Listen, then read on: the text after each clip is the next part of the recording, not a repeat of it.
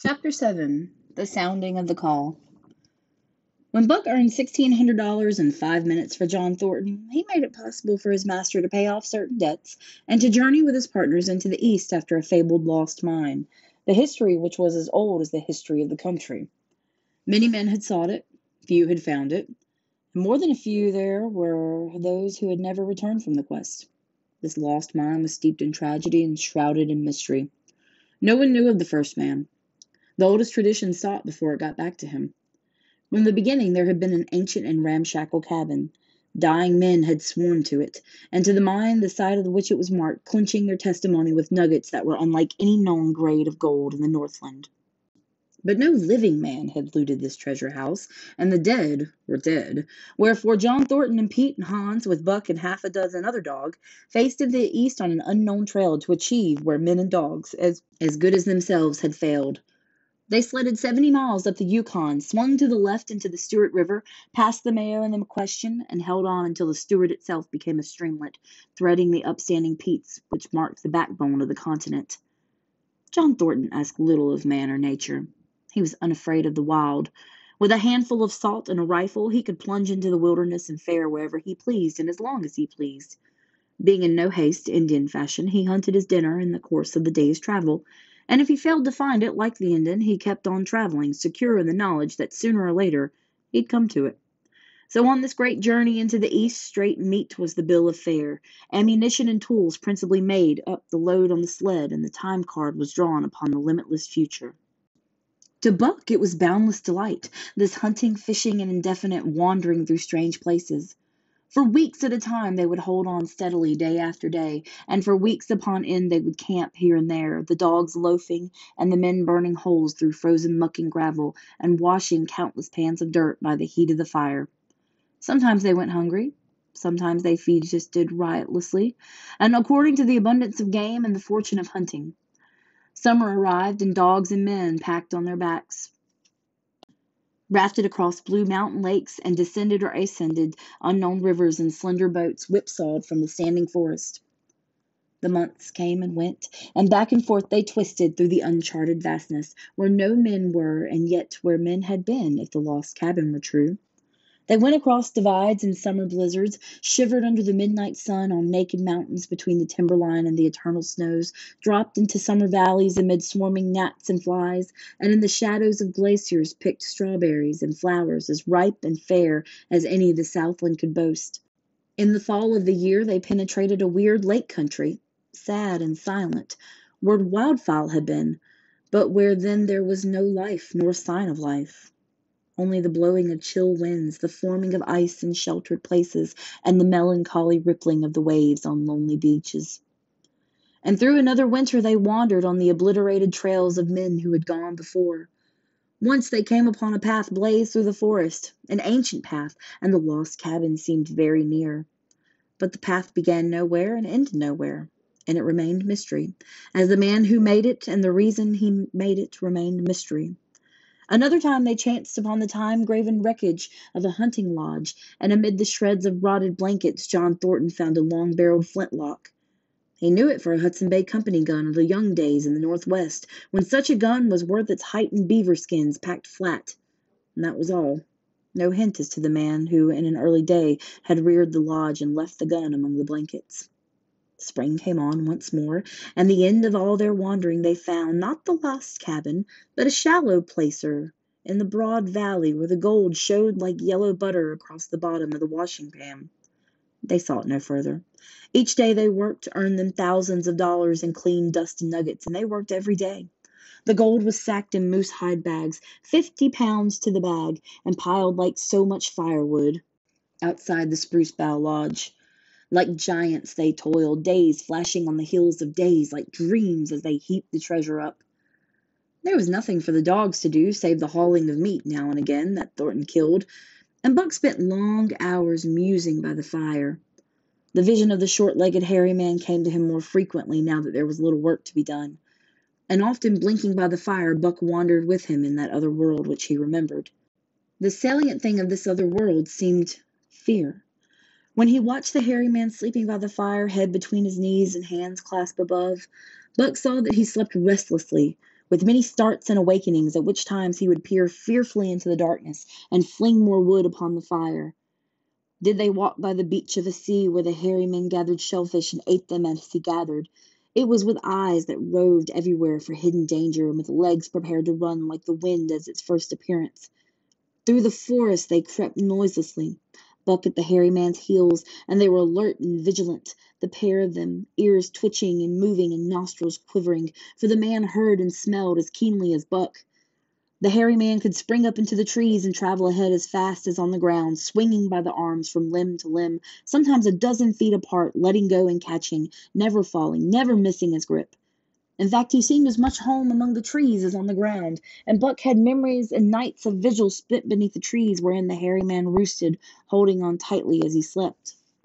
And closely akin to the visions of the hairy man was the call still sounding in the depths of the forest. It filled him with a great unrest and strange desires. It caused him to feel a vague, sweet gladness, and he was aware of wild yearnings and stirrings for he knew not what. Sometimes he pursued the call into the forest, looking for it as though it were a tangible thing, barking softly or defiantly as the mood might dictate. He would thrust his nose into the cool wood moss or into the black soil where the long grasses grew and snort with joy at the fat earth smells. Or he would crouch for hours as if in concealment behind fungus covered trunks of fallen trees, wide eyed and wide eared to all that moved and sounded about him. It might be, lying thus, that he hoped to surprise this call he could not understand. But he did not know why he did these various things. He was impelled to do them, and he did not reason about them at all. Irresistible impulses seized him. He'd be lying in camp dozing lazily in the heat of the day when suddenly his head would lift and his ears cock up, intent and listening, and he would spring to his feet and dash away, and on and on for hours, through the forest aisles and across the open spaces where the swamp grass bunched. He loved to run down dry watercourses and to creep and spy upon the bird life in the woods. For a day at a time he would lie on the underbrush where he could watch the partridges drumming their strutting up and down. But especially he loved to run in the dim twilight of the summer midnights, listening to the subdued and sleepy murmurs of the forest, reading signs and sounds as a man may read a book, and seeking for the mysterious something that called, called, waking or sleeping at all times, for him to come. One night he sprang from sleep with a start, eager eyed, nostrils quivering and scenting, his mane bristling in recurrent waves. From the forest came the call, or one note of it, for the call was many noted, distinct and definite as never before. A long drawn howl, like, yet unlike, any noise made by husky dog. And he knew it in the old familiar way as a sound heard before. He sprang through the sleeping camp and in the swift silence dashed through the woods. As he drew close to the cry, he went more slowly, with caution in every movement, till he came to an open place among the trees, and looking out saw, erect on haunches, with nose pointed to the sky, a long, lean timber wolf. He had made no noise, yet it ceased from its howling and tried to sense his presence. Buck stalked into the open, half crouching, body gathered compactly together, tail straight and stiff, feet falling with unwonted care. Every movement advertised commingled threatening and overture of friendliness. It was the menacing truce that marks the meeting of wild beast prey. But the wolf fled at the sight of him. He followed with wild leapings in a frenzy to overtake. He ran him into a blind channel in the bed of a creek where a timber jam barred the way. The wolf whirled about, pivoting on his hind legs after the fashion of Joe and of all cornered husky dogs, snarling and bristling, clipping his teeth together in a continuous and rapid succession of snaps. Buck did not attack, but circled him about and hedged him in with friendly advances. The wolf was suspicious and afraid, for Buck made three of him in weight, and while his head barely reached Buck's shoulder. Watching his chance, he darted away, and the chase resumed. Time and again he was cornered and the thing repeated, though he was in poor condition or Buck could not have so easily overtaken him. He would run till Buck's head was even with his flank, and when he would whirl around at bay only to dash away again at first opportunity. But in the end Buck's pertinacity was rewarded, for the wolf, finding no harm was intended, finally sniffed noses with him. Then they became friendly, and played about in the nervous, half coy way with which fierce beasts belie their fierceness. At some time of this the wolf started off at an easy lope in a manner that plainly showed he was going somewhere. He made it clear to Buck that he was to come, and they ran side by side through the somber twilight, straight up the creek bed into the gorge from which it issued, and across the bleak divide where it took rise. On the opposite slope of the watershed they came down into a level country where there were great stretches of forest and many streams, and through these great stretches they ran steadily hour after hour, the sun rising higher and the day growing warmer. Buck was wildly glad. He knew he was at last answering the call, running by the side of his wood brother toward the place from where the call surely came. Old memories were coming upon him fast, and he was stirring to them as of old he stirred to the realities of which they were the shadows. He had done this thing before, somewhere in that other and dimly remembered world, and he was doing it again now, running free into the open, the unpacked earth underfoot, the wide sky overhead. They stopped by a running stream to drink, and stopping, Buck remembered John Thornton. He sat down. The wolf started on toward the place from where the call surely came, then returned to him, sniffing noses and making actions as though to encourage him. But Buck turned about and started slowly on the back track. For the better part of an hour the wild brother ran by his side, whining softly. Then he sat down, pointed his nose upward, and howled. It was a mournful howl, and as Buck held steadily on his way, he heard it grow faint and fainter until it was lost in the distance. John Thornton was eating dinner when Buck dashed into camp and sprang upon him in a frenzy of affection, overturning him, scrambling upon him, licking his face, biting his hand. Playing the general Tom fool, as John Thornton characterized it, the while he shook Buck back and forth and cursed him lovingly. For two days and nights Buck never left the camp, never let Thornton out of his sight, he followed him about at his work, watched him while he ate, saw him into his blankets at night and out of them in the morning. But after two days the call in the forest began to sound more imperiously than ever. Buck's restlessness came back on him, and he was haunted by recollections of the wild brother, and the smiling land beyond the divide, and the runs side by side through the wide forest stretches. Once again he took to wandering in the woods, but the wild brother came no more.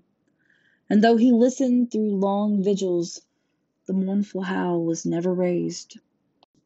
He began to sleep out at night, staying away from camp for days at a time, and once he crossed the divide at the head of the creek and went down into the land of timber and streams. There he wandered for a week, seeking vainly for fresh sign of the wild brother, killing his meat as he traveled and traveling with the long, easy lope that never seems to tire. He fished for salmon in a broad stream that emptied somewhere into the sea, and by the stream he killed a large black bear, blinded by the mosquitoes while likewise fishing and raging through the forest helpless and terrible. Even so, it was a hard fight, and it aroused the last latent remnants of Buck's ferocity. And two days later, when he returned to his kill and found a dozen wolverines quarreling over the spoil, he scattered them like chaff. Those that fled left two behind who would quarrel no more. The blood longing became stronger than ever before. He was a killer, thing that preyed, living on the things that lived unaided, alone, by virtue of his own strength and prowess, surviving triumphantly in a hostile environment where only the strong survived. Because of all of this, he became possessed of a great pride in himself, which communicated itself like a contagion to his physical being. It advertised itself in all his movements, was apparent in the play of every muscle, spoke plainly as speech in the way that he carried himself, and made his glorious furry coat, if anything, more glorious. But for the stray brown on the muzzle and above his eyes, and for the splash of white hair that ran midmost down his chest, he might well have been mistaken for a gigantic wolf, larger than the largest of the breed. From his St. Bernard father he had inherited size and weight, but it was his shepherd mother who had given shape to that size and weight. His muzzle was the long wolf muzzle, save that it was larger than the muzzle of any wolf, and his head somewhat broader was the wolf head on a massive scale. His cunning was wolf cunning and wild cunning, his intelligence shepherd intelligence and St. Bernard intelligence, and this, plus an experience gained in the fiercest of schools made him a formidable as creature as any that roamed the wild. A carnivorous animal living on a straight meat diet, he was in full flower, at the high tide of his life, overspilling with vigor and virility. When Thornton passed a caressing hand along his back, a snapping and crackling followed his hand, each hair discharging its pent magnetism at the contact. Every part, brain and body, nerve tissue and fiber, was keyed to the most exquisite pitch. And between all the parts there was a perfect equilibrium or adjustment. To sights and sounds and events which required action he responded with lightning like rapidity. Quickly as a husky dog could leap to defend from attack or to attack, he could leap twice as quickly. He saw the movement or heard sound and responded in less time than another dog required to compass the mere seeing or hearing. He perceived and determined and responded in the same instant. In point of fact, the three actions of perceiving, determining, and responding were sequential, but so infinitesimal were the intervals of time between them that they appeared simultaneous. His muscles were surcharged with vitality and snapped into place sharply like steel springs. Life streamed through him in splendid flood, glad and rampant until it seemed that it would burst him asunder in sheer ecstasy and pour forth generously over the world. Never was there such a dog, said John Thornton one day as the partners watched Buck marching out of camp. When he was made, the mold was broke, said Pete. Pa Jingo, I think so myself, Hans affirmed. They saw him marching out of camp, but they did not see the instant and terrible transformation which took place as soon as he was within secrecy of the forest. He no longer marched. At once he became a thing of the wild, stealing along softly, cat footed, a passing shadow that appeared and disappeared among the other shadows. He knew how to take advantage of every cover, to crawl on his belly like a snake, and like a snake to leap and strike. He could take a ptarmigan from its nest, kill a rabbit as it slept, and snap in midair the little chipmunks fleeing a second too late for the trees. Fish in open pools were not too quick for him, nor beaver mending their dams too wary. He killed to eat, not from wantonness, but he preferred to eat what he killed himself. So a lurking humor ran through his deeds. And it was his delight to steal upon the squirrels, and when he all but had them to let them go chattering in mortal fear to the tree tops. As the fall of the year came on, the moose appeared in greater abundance, moving slowly down to meet the winter in the lower and less rigorous valleys. Buck had already dragged down a stray, part grown calf, but he wished strongly for larger and more formidable quarry, and he came upon it one day on the divide at the head of the creek. A band of twenty moose had crossed over from the land of streams and timber, and chief among them was a great bull. He was in a savage temper, and standing over six feet from the ground was as formidable an antagonist as even Buck could desire. Back and forth the bull tossed his great palmated antlers, branching to fourteen points and embracing seven feet within the tips. His small eyes burned with a vicious and bitter light, while he roared with fury at the sight of Buck. From the bull's side, just forward of the flank, protruded a feathered arrow end, which accounted for his savageness.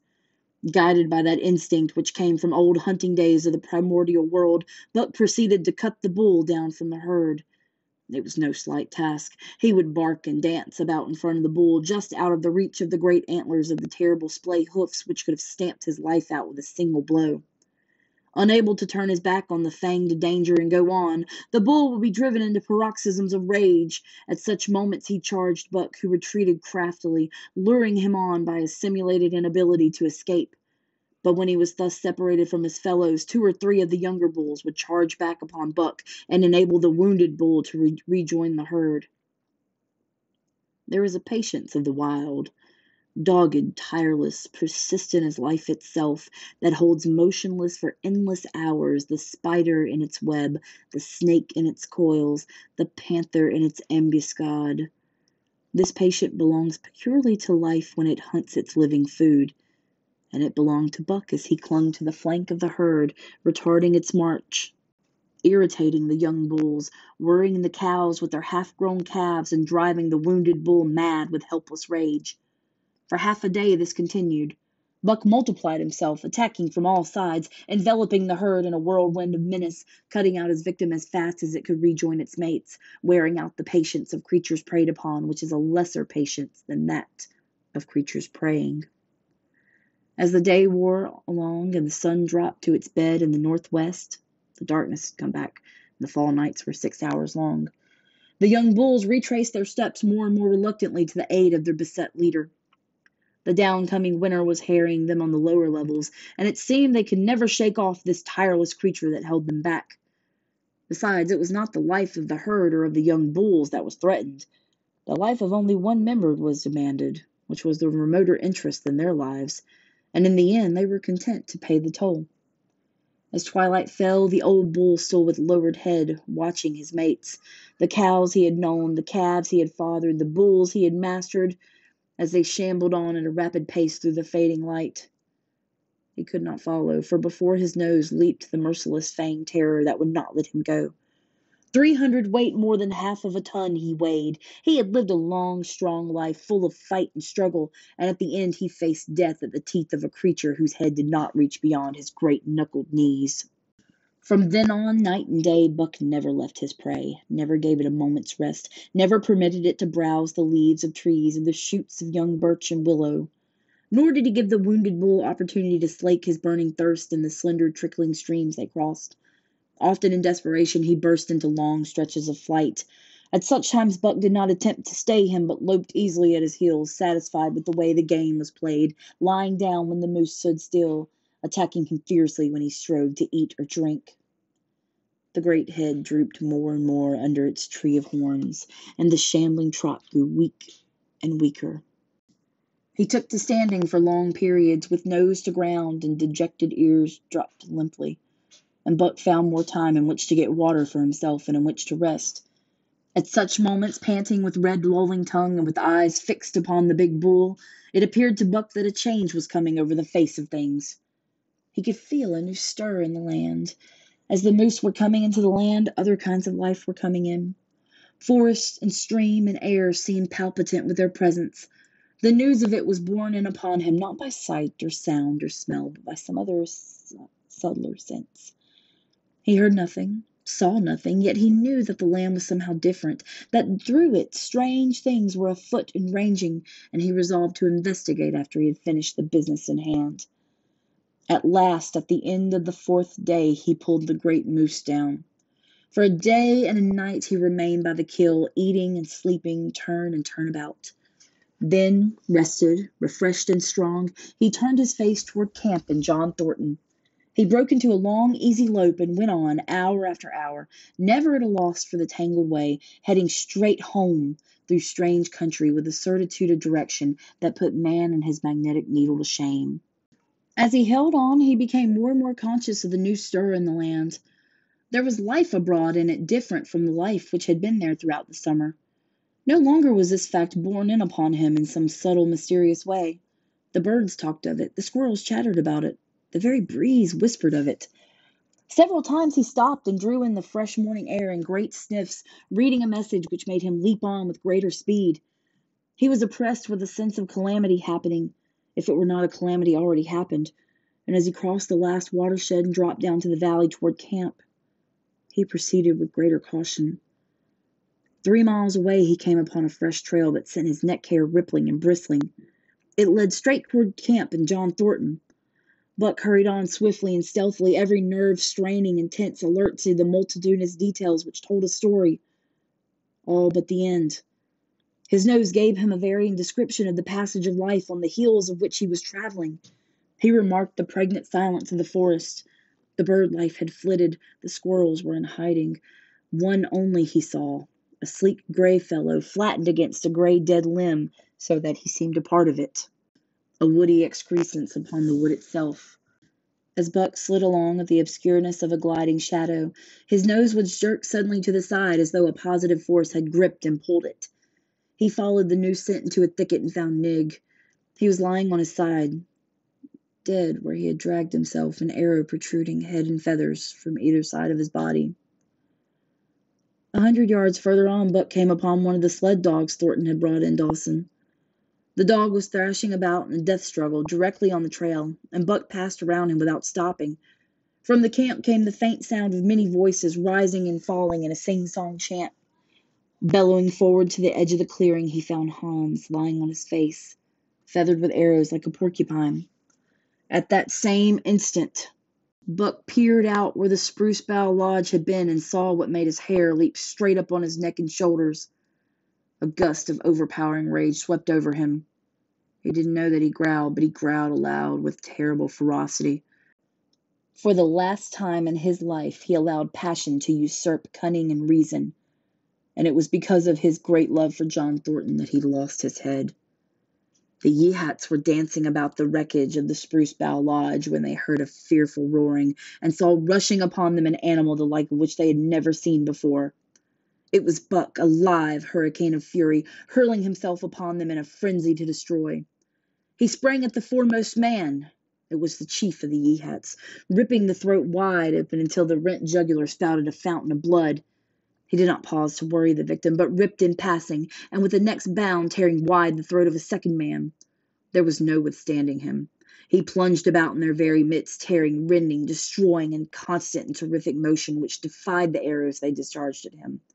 In fact, so inconceivably rapid were his movements, and so closely were the Indians tangled together, that they shot one another with arrows, and one young hunter, hurling a spear at Buck in midair, drove it through the chest of another hunter with such force that the point broke through the skin of the back and stood out from beyond.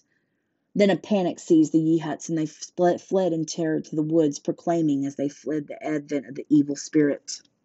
And truly Buck was the fiend incarnate, raging at their heels and dragging them down like deer as they raced through the trees. It was a fateful day for the Yeehats.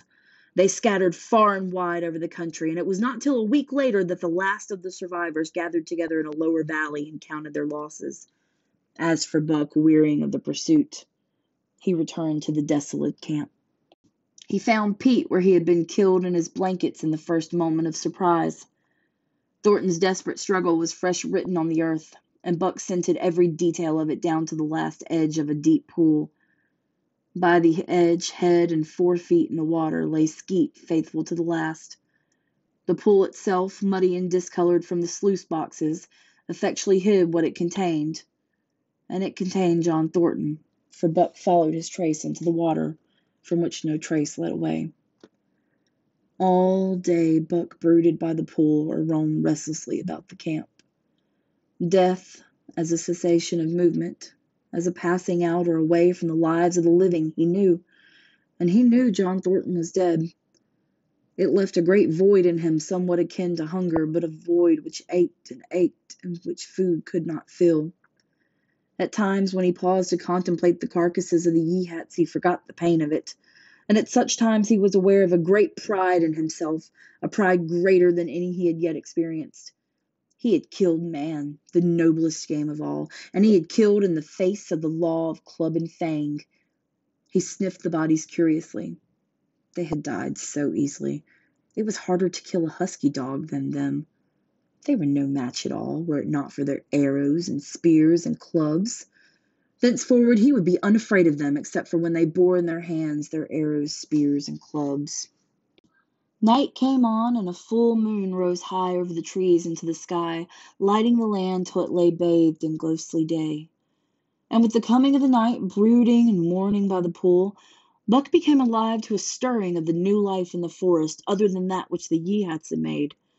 He stood up, listening and scenting. From far away drifted a faint, sharp yelp followed by a chorus of similar sharp yelps. As the moments passed, the yelps grew closer and louder. Again Buck knew them as things heard in that other world which persisted in his memory. He walked to the center of the open space and listened. It was the call, the many noted call, sounding more luringly and compellingly than ever before. And as never before, he was ready to obey. John Thornton was dead. The last tie was broken. Man and the claims of man no longer bound him. Hunting their living meat as the Yeehats were hunting it, on the flanks of the migrating moose, the wolf pack had at last crossed over from the land of streams and timber and invaded Buck's Valley. Into the clearing where the moonlight streamed, they poured in a silvery flood, and in the center of the clearing stood Buck, motionless as a statue, waiting their coming. They were awed. So still and large he stood, and a moment's pause fell, till the boldest one leaped straight for him. Like a flash Buck struck, breaking the neck. Then he stood without movement as before, the stricken wolf rolling in agony behind him. Three others tried it in sharp succession, and one after the other they drew back, streaming blood from slashed throats or shoulders. This was sufficient to fling the whole pack forward pell mell, crowded together, blocked and confused by its eagerness to pull down the prey. Buck's marvelous quickness and agility stood him in good stead. Pivoting on his hind legs and snapping and gashing, he was everywhere at once, presenting a front which was apparently unbroken, so swiftly did he whirl and guard from side to side. But to prevent them from getting behind me, he was forced back, down past the pool and into the creek bed till he brought up against a high gravel bank.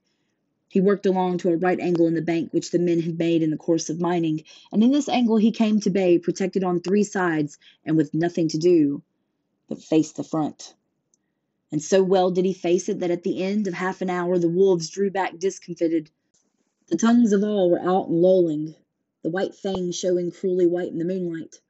Some were lying down with heads raised and ears pricked forward, others stood on their feet watching him, and still others were lapping water from the pool. One wolf, long and lean and gray, advanced cautiously, in a friendly manner, and Buck recognized the wild brother with whom he had run for a day and a night. He was whining softly, and as Buck whined they touched noses. Then an old wolf, gaunt and battle scarred, came forward. Buck writhed his lips into a preliminary of a snarl, but sniffed noses with him, whereupon the old wolf sat down, pointed nose at the moon, and broke into a long wolf howl. The others sat down and howled. And now the call came to Buck in unmistakable accents. He too sat down and howled. This over, he came out of his angle, and the pack crowded around him, sniffing in half friendly, half savage manner. The leaders lifted the yelp of the pack and sprang away into the woods. The wolves swung in behind, yelping in chorus. And Buck ran with them, side by side with the wild brother, yelping as he ran. And here may well end the story of Buck. The years were not many when the Yeehats noted a change in the breed of timber wolves, for some were seen with splashes of brown on head and muzzle, and with a rift of white centering down the chest. But more remarkable than this, the Yeehats tell of a ghost dog that runs at the head of the pack. They're afraid of this ghost dog, for it has cunning greater than they, stealing from their camps in fierce winters, robbing their traps, slaying their dogs, and defying their bravest hunters. Nay, the tale grows worse. Hunters there are who fail to return to the camp, and hunters have been whom their tribesmen found with their throats slashed cruelly open, and with wolf prints about them in the snow greater than the prints of any wolf. Each fall, when the Yeehats follow the movement of the moose, there is a certain valley which they never enter.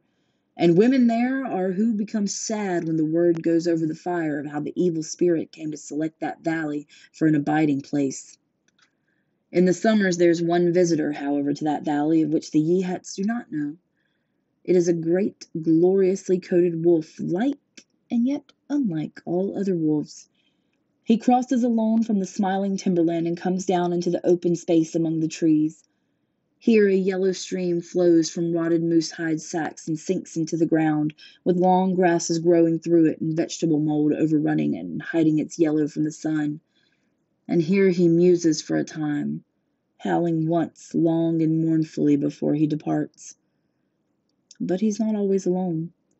When the long winter nights come on and the wolves follow their meat into the lower valleys, he may be seen running at the head of a pack through the pale moonlight or glimmering borealis, leaping gigantic above his fellows, his great throat a bellow as he sings a song of the younger world, which is the song of the pack.